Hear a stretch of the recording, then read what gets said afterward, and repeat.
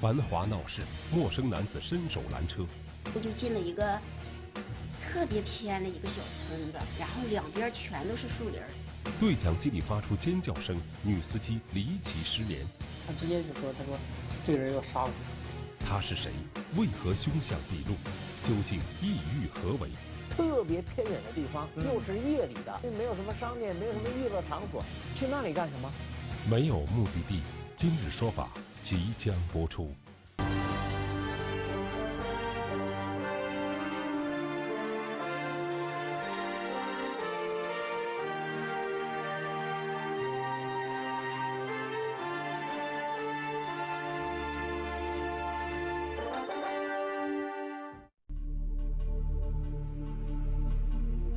潘雪英是一名出租车司机。这天，他跟往常一样，中午吃完饭便出门工作了。潘雪莹此刻来的这条街，算是阿鲁科尔沁旗的繁华街道。他刚把出租车开到这里没多久，就看到路边一个男人在招手，示意他停下车来。当时他就敞开车门，问了一声：“去先锋多少钱？”然后我就问他要了七十，然后他就他说他去接他的孩子和媳妇儿。说他的孩子长病了，然后说七十就七十吧。潘雪莹与男子商量好价钱，男子就上了车，坐在了后排的位置。之后两人便开车前往男子要去的目的地。当时他穿了一条黑裤子，然后戴了一个蓝色的口罩。潘雪莹离开两个小时后，她的丈夫有事找她，便给潘雪莹打去了电话，但却怎么也联系不上她了。各位好，这里是今日说法。潘雪莹开出租车一般是下午五点之前就会收工回家，但这天五点都过了，潘雪莹的丈夫却一直联系不上她，这种情况很少见。于是她的丈夫就给潘雪莹平时开车的时候喜欢聊天的同行们打去了电话，同行跟他说，几分钟之前。突然，从潘雪莹的对讲机当中传来了几声尖叫，然后对讲机就关了。这一下，潘雪莹的丈夫可慌了神儿了，妻子发生了什么意外呢？就在他担心不已的时候，突然，他接到了妻子打来的电话。在电话里，潘雪莹的声音带着哭腔，情绪很不好。她跟丈夫说，她此时就在先锋小学，让丈夫赶紧过去。而与此同时，阿鲁科尔沁旗的民警也接到了潘雪莹的报警电话。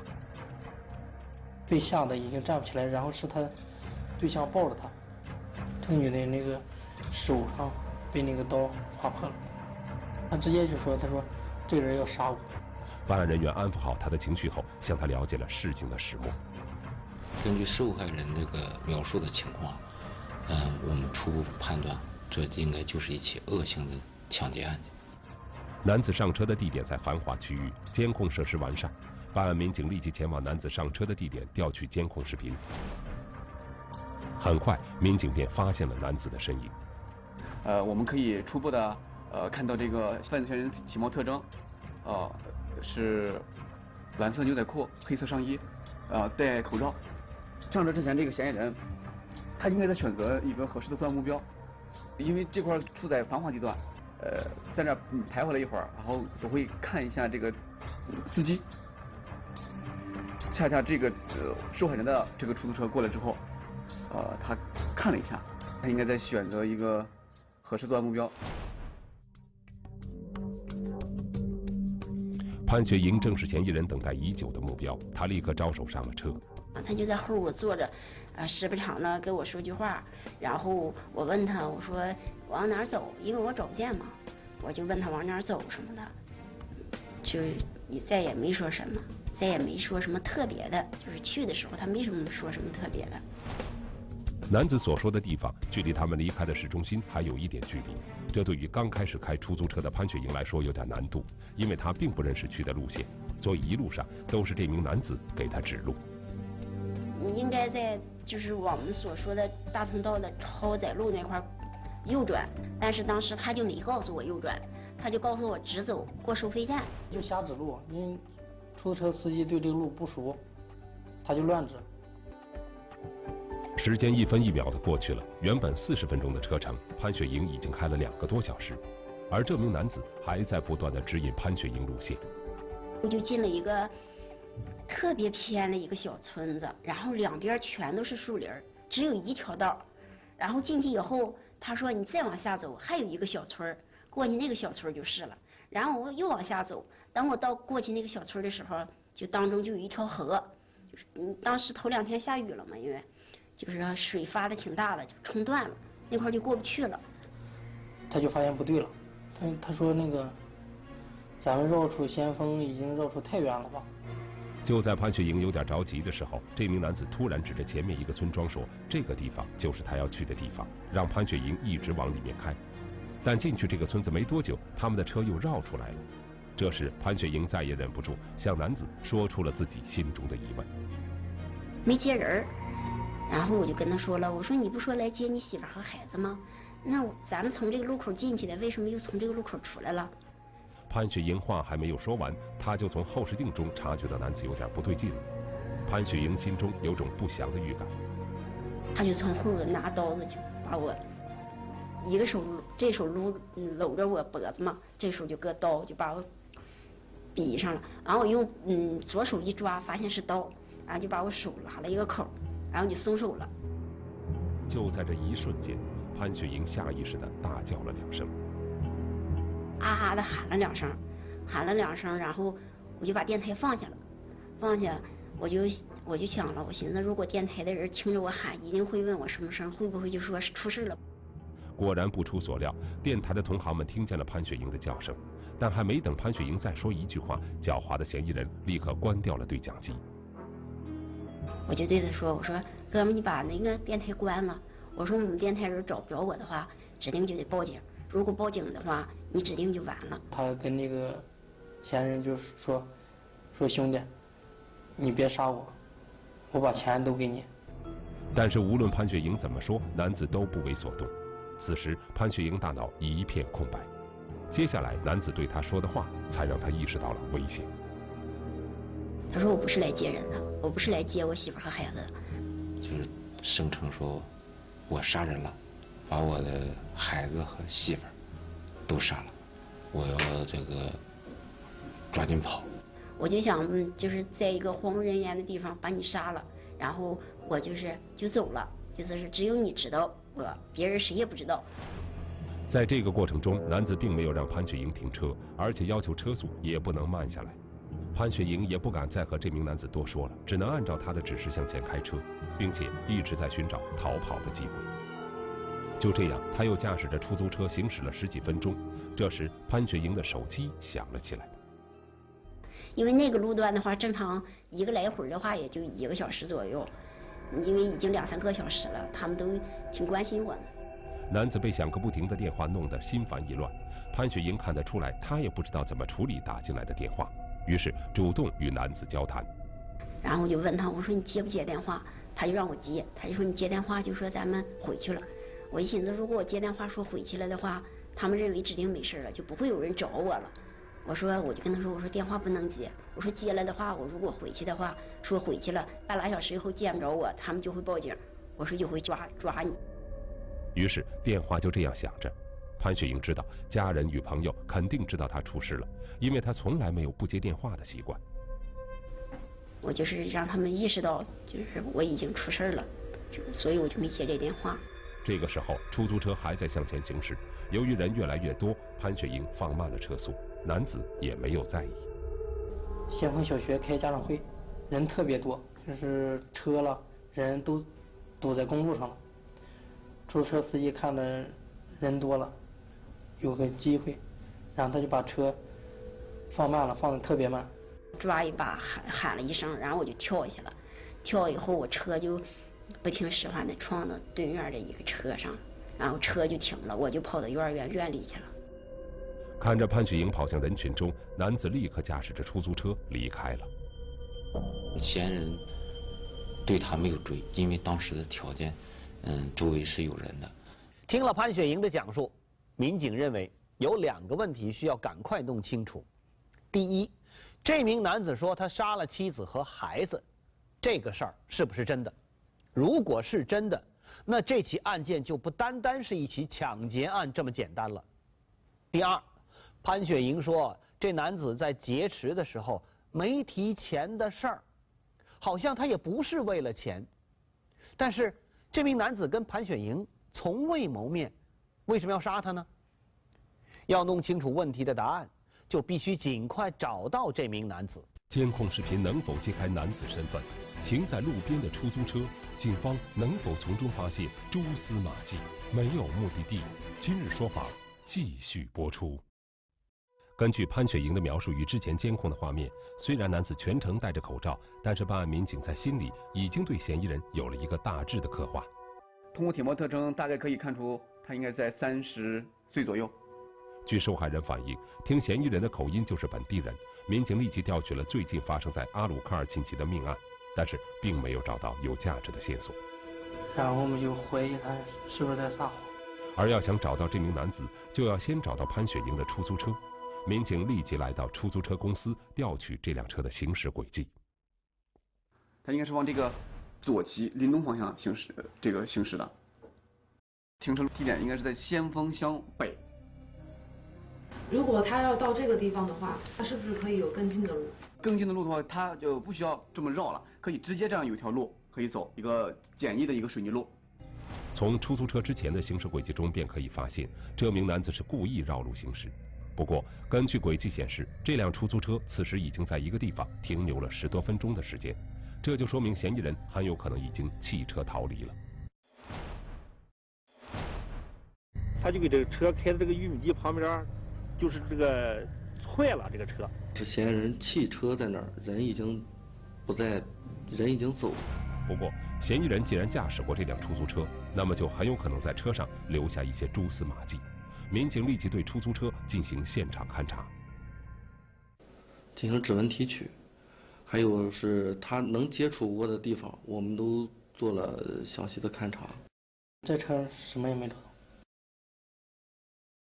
当时我们想，他应该是怕拍到他的那个图像，他给这个车就是给这个监控器也薅扔了，破坏了。当时也是。但现场勘查的民警并没有因此放弃，他们扩大了勘查范围。因为汽车那个地方，两边全是玉米地，我们的那个同事就开始在玉米地里排查，在玉米地里找到了车的把套、脚垫。玉米地找到的东西，经过民警比对，证实了是出租车上的物品，但并没有为破案带来帮助。就在民警继续勘查时，有一名放羊的老人说，看见过一个年轻人。嗯，他反映有这个衣着特征与这个被害人描述相符的这样一个人员，在这这个时间段向他这个联系过，有没有出租车？要打车离开这个地方。老人并不知道如何找到车，于是给男子介绍了一个村民，说村民的亲戚是位面包车司机。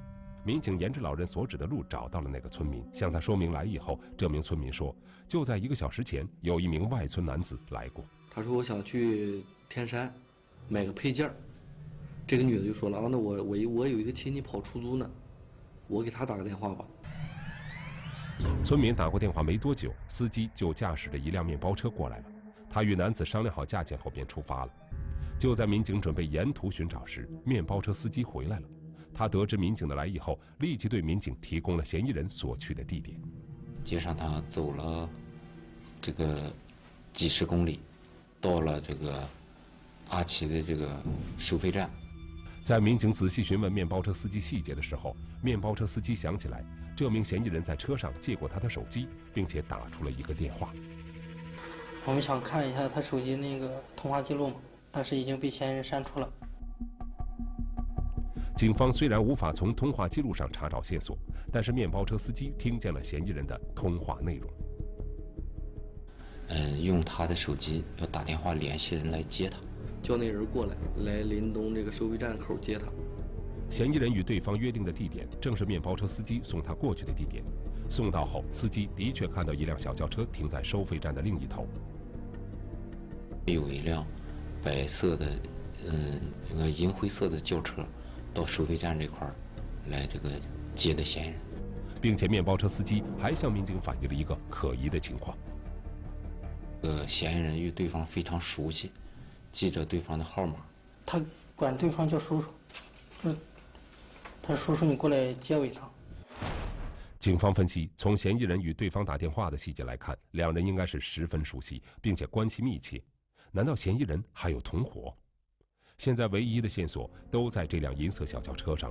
民警急忙去收费站调取监控，但是所有的监控视频中都没有看见嫌疑人与银色轿车的踪影。附近就是旁边绕过去的，他就没走监控。虽然犯罪嫌疑人成功的避开了收费站的监控。但是，只要他们的车在高速公路上行驶，警方就一定会找到线索。警方调取了犯罪嫌疑人上高速路的那一时间段内所有的监控视频，果然，在一个卡口处发现了有三辆银色小轿车经过。通过调查，警方排除了前面两辆的嫌疑，看了这第三辆之后，警方确定这辆车有重大嫌疑。银色轿车车主是同伙还是被利用？真不是什么人都能拉，什么钱都能挣的。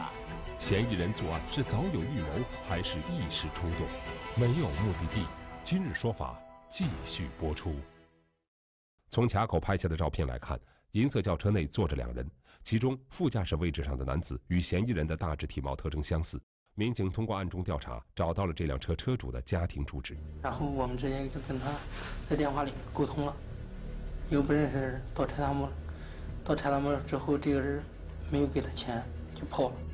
车主口中没有给车费钱的人便是嫌疑人了，但是对于他所说的一切，民警觉得有待考证。就说，嫌疑人管你叫叔叔，你咋能不认识他呢？黑车司机说，前两天自己在客运站等人时，有一名年轻人向他要过联系方式，这个人便是这次坐车的嫌疑人。嫌疑人曾找过他。在那个时候，他就说：“叔叔，我可能给你打电话。”他就说：“这孩子挺有礼貌的，还管我叫叔叔。”在民警正要离开时，银色轿车车主想起来一件事：嫌疑人在他车上曾经这个使用车主的电话，嗯，与一个人员取得联系，说手里头有一部这个手机，用钱需要卖，问问多少钱能回收。同样，在警方查看车主手机的通话记录时，狡猾的嫌疑人已经将对方电话删除。不过，轿车的车主说，对嫌疑人卖手机的地方还有印象，有这么一个蓝色的牌子，大概在一个什么位置？我们根据他提供的这个线索，啊，到那个地方进行走访，啊，摸到的这个情况。警方很快便找到了车主描述的这个回收二手手机的店。民警向店主说明来意后，店主立即向办案人员提供了这几天的交易记录。店老板说，之前听见有人叫他殷奇，于是办案民警立即查找名叫殷奇的人。很快，一名名叫殷奇、1993年出生的男子进入了警方的视线，条件很符合出租车司机提供的信息。为了进一步他这个是否作案，找被害人、面包车主。还有这个当时的牧羊人，以及后期这个银灰色车主，都分别让他们进行了辨认。辨认结果很快就出来了，这个结果让办案的民警大吃一惊。但是他们给警方异口同声的反映的，就是说，他们所见过的这个人，并不是我们掌握的这个伊乐奇这个人。难道之前的调查与分析都是错误的？办案民警决定重新梳理一下整个案件，并决定到殷奇家里进行走访调查。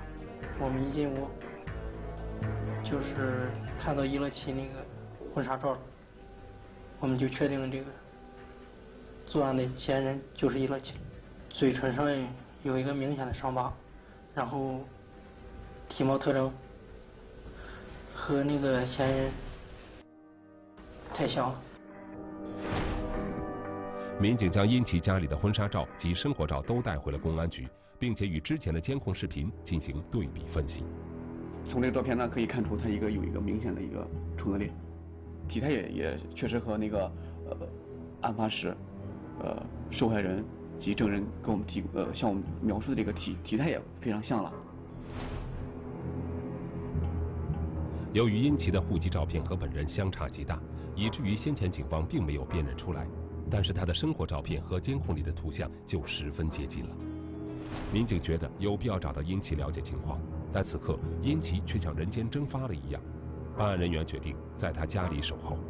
在我们警方工作的时候呢，这样他母亲接到了一个这个陌生号码的电话，交流几句以后，就没谈什么具体内容，就问了两句：“你在哪儿呢？干哈呢？”殷琪的母亲也不知道是谁打来的电话。民警觉得这通神秘的电话很可能是嫌疑人打来的。在回拨过去的时候，对方的电话就已经关机了。了他家里这个电话本，在电话本上恰恰就记录着这个来电这个陌生号码的信息，是同村一个叫叨叨的这样的一个人的电话。民警立即赶到这名叫叨叨的男子家里。叨叨说，昨晚殷奇给了他五十元钱，让他连夜送殷奇到赤峰市区。然后侦查员就是一路向西追踪，最后在一个那个就是临时工工地把他抓获了。殷奇看见民警过来，立即明白发生了什么。他在回去的路上便承认了自己之前做过的事情，但他并不承认自己是在抢劫。当时我也。没打算抢劫，就是说，那对讲机上说的话太气人了。他说自己本来好好的坐在车上，但是出租车司机一直在跟对讲机里的同行聊天，并且在议论他。就是说到那儿了，然后让他加点钱，然后说我是抢到了还是杀人犯之类的话。我们那个同事就说我，哎呀，他连他老丈人家都找不着。他是不是他的姑爷子？你们给我发张照片，看他是什么样个人，连他老丈母娘家都找不着。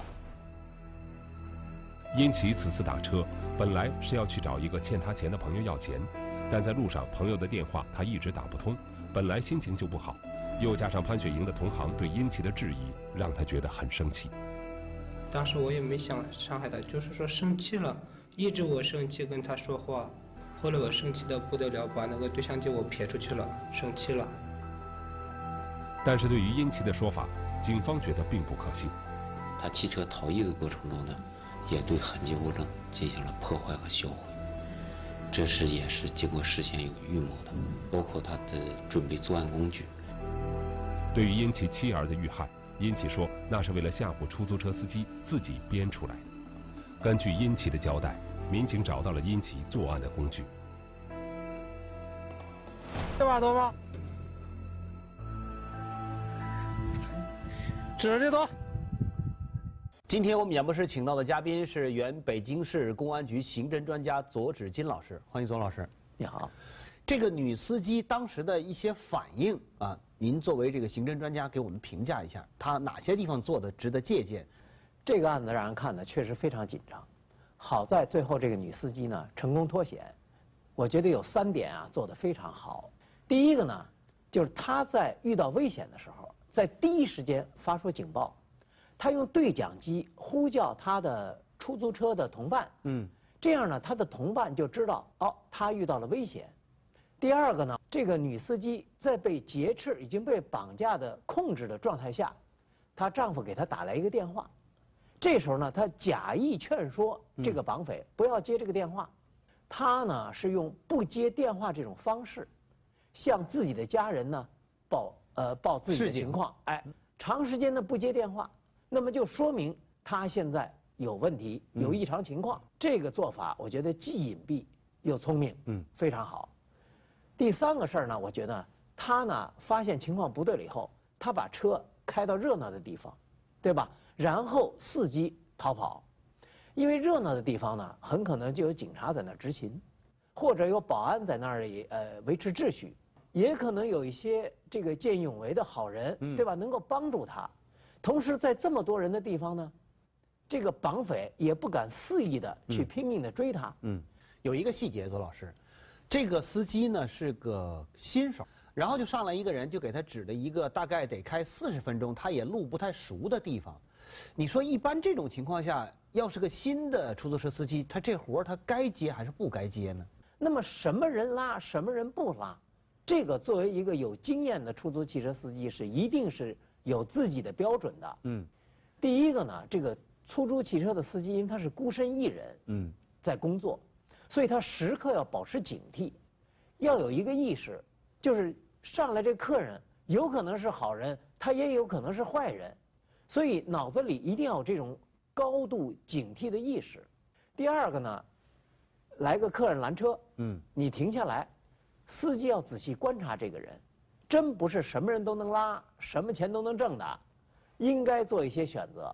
我想，比如说哈，这个说不清要去的地方的，嗯，这不能拉，对吧？嗯，绑匪一上来说往前开，这这不行。嗯，你说你到哪儿？因为咱们正常人打出租，都一说到到什么小区，到什么说都很准确，对吧？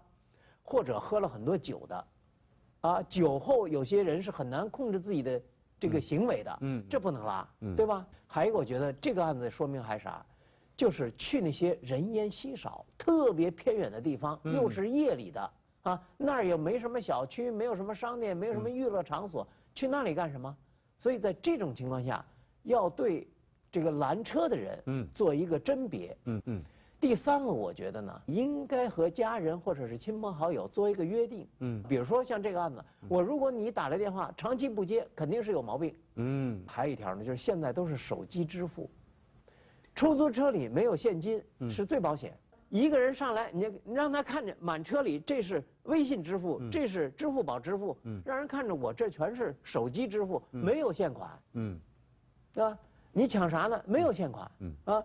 所以我觉得这样几个方法结合起来应用，就能够保障像从事出租汽车司机这样有一定危险性行业的人员的安全。嗯，殷奇原本有一个幸福的家庭，他有年轻的妻子啊，孩子也刚刚出生。